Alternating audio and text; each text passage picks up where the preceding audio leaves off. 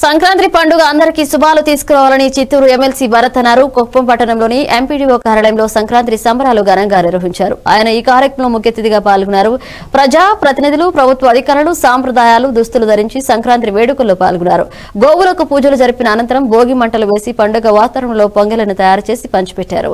ఈ కార్యక్రమంలో సాంప్రదాయ నృత్య పోటీలు నిర్వహించి గెలుపొందిన విజేతలకు ఎమ్మెల్సీ భరత్ బహుమతులు అందజేశారు. ఈ కార్యక్రమంలో రాష్ట్ర వన్యకుల క్షేత్రీయ corporation chairman Vanitha Srinivasulu municipal chairman doctor Sudhir మండల వైసీపీ కరణ మురుగేష్ ఎంపీపీ అస్పిని వివిధ శాఖల అధికారులు సిబ్బంది పాల్గొన్నారు.